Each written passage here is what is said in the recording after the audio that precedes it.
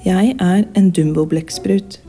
Jeg er en av mange ekstraordinære skapninger som nettopp har blitt oppdaget, og lever i dyphavet, noen ganger på flere tusen meters dyp. Jeg har kommet til Norge fordi myndighetene ønsker å åpne hjemmet mitt for gruvedrift på havbunnen. En industri som risikerer å ødelegge hele økosystemer.